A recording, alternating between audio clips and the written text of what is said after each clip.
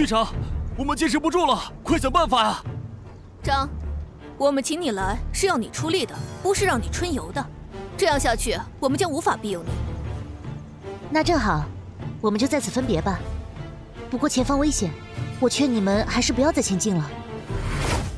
啊，不见了！什么？这到底是？不要前进了，就在这里扎营。我相信这一定是上帝的化身，为我们带来启示。各位 W 社的会员们，我们长久以来的努力，终于到了最伟大的时刻。我们伟大的千童圣君传下启示，待到无尽的黑夜退去，黎明即将带着破晓前的光出现在我们面前。这是千童圣君的启示，他归来之际，定与尔等信徒共享天下。现在，恭迎圣君归位。灵气只能复苏我的意识。只有血石才能唤醒我的肉身，这些就是你为我准备的血石吗？圣君，这些人是捕捉血石的奴仆，真正的血石还需要您出手，将他们吸引过来。咦，很不错，我会施展伟力吸引那些血石过来，让我本体复苏的血石盛宴。就交给你了。为圣君效劳是我的荣幸。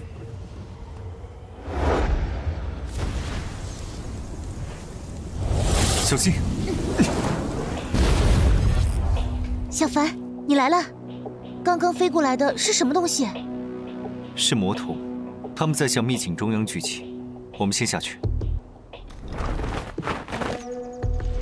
千瞳魔君的意识提前苏醒了。如今他正在召唤他的魔童，怎么回事？怎么这些光源都往那边去了？天生异象，那边定有宝物出世。今天终于轮到我们发达了吗？大哥小心，那边有人！连先天修为都没有，我劝你们不要去那个方向自讨苦吃。哼，宝物现世。我们也要分一杯羹，你们休想阻止我们！走。看来慕容云海吸引这些秘境修士前往那里的目的已经达到了。所有看到异象的修士都会向那里汇集。可是那千瞳魔君似乎是上一时代的大能，为何会和慕容云海勾结到一起？我们破坏了千瞳魔君的复苏计划，而慕容云海似乎有办法。助千瞳魔君提前复苏，但我十分肯定，慕容云海绝不是真心想要帮助千瞳魔君，他一定也在算计着什么。那我们现在应该怎么办？直接去阻止慕容云海吗？千瞳魔君的寂灭凶光诡异惊绝，直接与他对上，对我们太不利了。我们对千瞳魔君的了解太少了。千瞳魔君在这里自我封印了几千年。看来，关于千瞳魔君的信息，我们就要在这方世界中寻找了。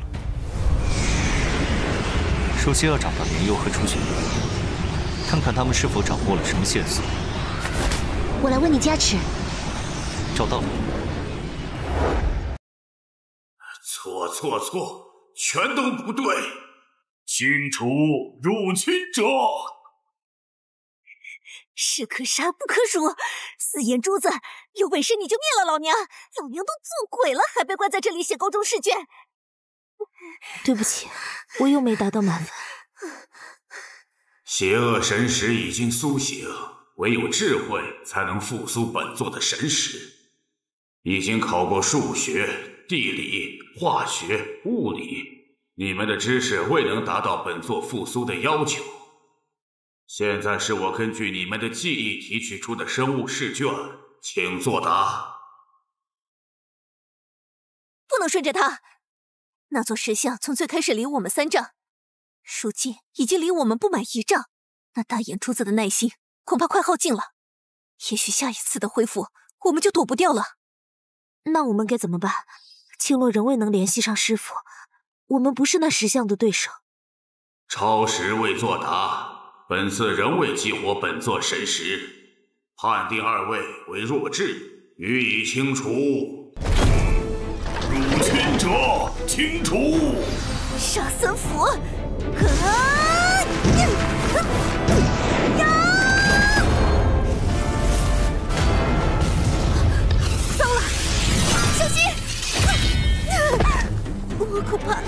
一击之力了。侵者清除！休伤小主，青洛。非人形智慧生物，可以越过道德约束，直接吞噬。说不定能支撑我重新燃起魂火，恢复完全神智。对啊，青鹿是传说中无所不知的狐族，可以让他答题，一定可以满足你的要求。